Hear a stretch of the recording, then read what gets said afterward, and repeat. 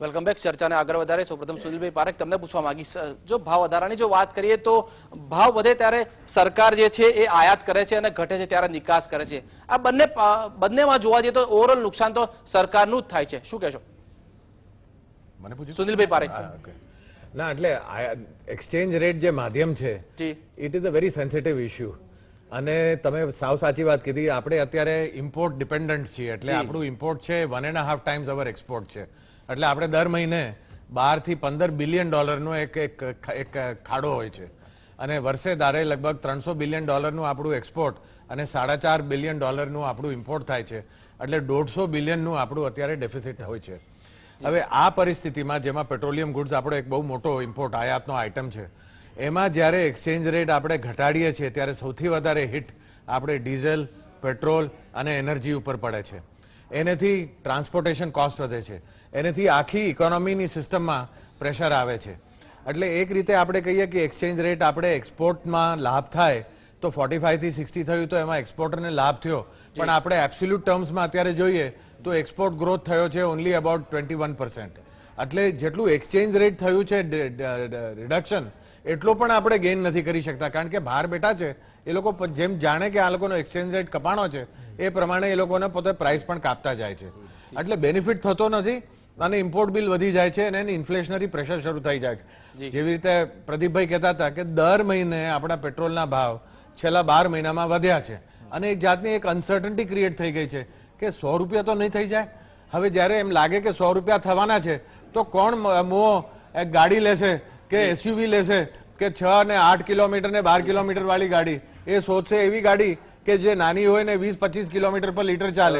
એ આપણે ગુજરાતી છીએ આપણા જેવા બધા જ હોય છે. એટલે આ જે બધી સાયકોલોજીકલ અસરો થાય છે એને એક સાઈડ મૂકીને ફક્ત તમે એક્સાઇઝ ડ્યુટી કાપો કે કસ્ટમ ડ્યુટી કાપો એમાં કંઈ ફેર નથી પડવાનો એમાં કોઈ ઇમ્પેક્ટ નથી થવાનું. અને કંટ્રોલ કરવા માટેનું કોઈ મિકેનિઝમ ખરું? આયાત નિકાસને કારણે જે સરકારને નુકસાન થતું હોય છે મોટે પાયે એનું કંટ્રોલ કરવા માટે કોઈ મિકેનિઝમ શું કરી શકાય? એક્સચેન્જ રેટ પોતાની જાતને જો ફ્રી ફ્લોટિંગ હોય તો એ એડજસ્ટ થયા કરે છે. અને ફ્લોટિંગ રેટ આપણે રાખ્યો છે. ચાઇનાએ ફિક્સ રેગ્યુલેટેડ રેટ રાખ્યો છે. એટલે એમાં શું થશે કે જે જો આપણું ઇમ્પોર્ટ ઘટતું જાય અને એક્સપોર્ટ્સ વધતા જાય તો ઓટોમેટિકલી આપણી કરન્સી સ્ટ્રોંગ થતી જાય. અને જો આપણું ઇમ્પોર્ટ વધતું જશે અને એક્સપોર્ટ ઘટતા જશે તો exchange rate must go down અને એ રીતે એક એવું ઇક્વિલિબ્રિયમ પોઈન્ટ આવી જાય છે પોતાની મેળે કે જેમાં ઓટોમેટિક કંટ્રોલ થાય છે. એટલે આપણે જે કંટ્રોલ મિકેનિઝમ છે એ માર્કેટ મિકેનિઝમ છે. બીજા બધા દેશોમાં ઘણીવાર જે પર્ટિક્યુલરલી ચાઇના જે રુઝાનને બહુ ગમે છે એ સ્પેસિફિકલી એ લોકો રેગ્યુલેટેડ રાખે છે. જી. સુનિલભાઈ શાહ તમારું શું માનવું છે? આ પ્રકારનું જે સમસ્યા છે એનું રેમેડીઝ તમારા મતે શું હોઈ શકે અને શું કરવું જોઈએ જેથી ભારતનો રૂપિયો જરા મજબૂત થાય? હું માનું છું સુનિલભાઈ જોડે સંપૂર્ણ રીતે સમજ છું કે જ્યારે આપણે પિસ્તાલીસ રૂપિયાથી રૂપિયો ગગડવાની શરૂઆત થઈ ત્યારે દેશના નાણામંત્રી તરીકે જ્યારે જે અર્થશાસ્ત્રી પોતે છે, ત્યારે એમણે સુડતાલીસ રૂપિયા કદાચ જાગી જવાની જરૂર હતી, ઓગણપચાસ રૂપિયા પણ જાગવાની જરૂર હતી, જે અડસઠ રૂપિયા સુધી કદાચ આપણે જાગી ના શક્યા. ભૂતકાળ છે, આપણે એને જોવો નથી, પણ છતાંય, કારણ કે પિસ્તાલીસથી અડસઠ રૂપિયા આપણે ફ્રી ફ્લો જેમ એકદમ નેચરલ ફ્લો થઈ ગયો, એવી રીતે પડી ગયો, એના લીધે આપણે જે ઇમ્પોર્ટ કે એક્સપોર્ટનું આ ઇમ્બેલેન્સ કહીએ છીએ, તે મોટું થઈ ગયું છે. અને જેમ કીધું એમ સાડા ચાર બિલિયન ડોલરનું આપણને જે અત્યારે ઇમ્પોર્ટ કરી રહ્યા છે, એ બે વચ્ચેની જે એક્સપોર્ટ અને ઇમ્પોર્ટ વચ્ચેની ખાત છે હું માનું છું કે એક્સપોર્ટ ઉપર ખૂબ મોટા ઇન્સેન્ટિવ જો કદાચ આપી શકીએ આપણે. અને સુનિલભાઈની વાત એ પણ સાચી છે જેમ જેમ દુનિયાને જાણ થાય છે કે ભાઈ રૂપિયો ડિવેલ્યુએશન થયો છે એમ બાકીના બધા જ નવા કોન્ટ્રાક્ટ હવે એ લોકો રીનેગોશિએટ કરે છે. પરંતુ એની અંદર જેટલી ઝડપથી આપણે જો કદાચ કામ કરી શકીએ સરકાર એકદમ જાગૃત રહે ડે ટુ ડે કામ કરે તો હું માનું છું કે ચોક્કસ એક્સપોર્ટ વધારી શક્યા હોત છેલ્લા બે મહિનામાં ખૂબ સારું કામ કરી શક્યા હોત. કામ થયું છે ચોક્કસ થયું છે પણ એક સરકારને આધીન જો કદાચ મોટું કામ થઈ કરી શક્યા હોત તો આ બે વચ્ચેનું ઇમ્બેલેન્સ ઓછું કરી શક્યા હોત એવું ચોક્કસપણે માનું છું. પરંતુ જે રૂપિયો વધ્યો એનો એનો લાભ કોણ ખાટી ગયું? રૂપિયો રૂપિયો ગગડી ગયો એનો લાભ તો હું માનું છું કે કદાચ કોઈને ખાટવામાં નથી આવ્યો પણ દેશના સર્વાનુમતે કદાચ લાભ થવો જોઈતો હતો એમાં આપણે કદાચ ક્યાંય કશું ના કરી શક્યા. બિપિનભાઈ તમને પૂછવા માંગીશ સરકાર જે છે એ ખેડૂતોને અથવા ગ્રાહકોને. બંનેને એક સાથે ખુશ નથી રાખી શકતી. ખેડૂતોને ભાવ વધારે આપવા જાય તો પ્રજાને નુકસાન થાય છે અને બંને વાયસે વર્ષા જોવા જઈએ તો બંનેને ખુશ નથી રાખી શકતી. શું કહેશો?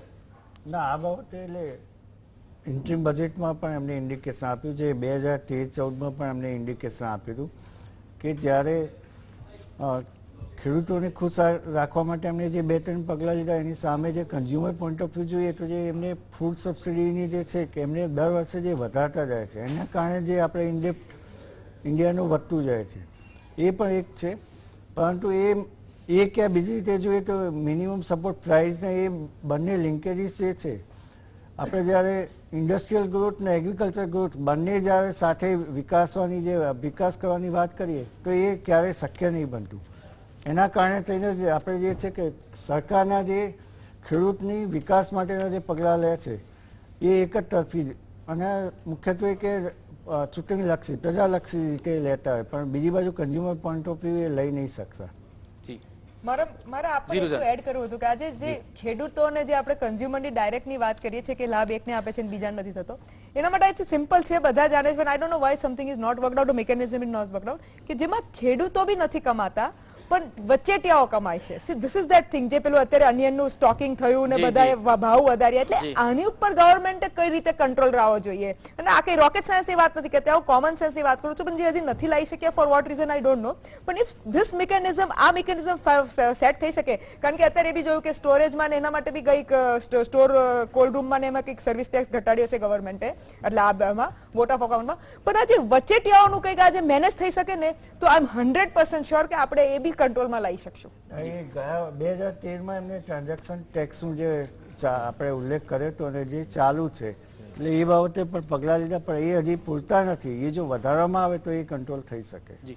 સુનિલભાઈ પારેખ, તમને પૂછવા માંગીશ વસ્તુની જે વાત કરીએ, વસ્તુની કિંમતની વાત કરીએ, તો પડતર કિંમત કરતા વેચાણ કિંમતમાં બહુ જ મોટો તફાવત હોય છે, બહુ જ વધારો હોય છે, જેને કારણે ક્યાંક ને ક્યાંક ગ્રાહકોને ભારે નુકસાન સહન કરવાનું આવે છે. વચેટિયાઓની જે રીતે વાત કરી, વચેટિયાઓ તો ખાય છે, પરંતુ પડતર કિંમત જે હોય છે, એના કરતાં શા માટે વધુ કિંમતમાં વેચાણ વધુ વેચાણ કિંમત હોય છે? એની પાછળનું ડિફરન્સ જે હોય છે, એ પાછળનું નુકસાન કોને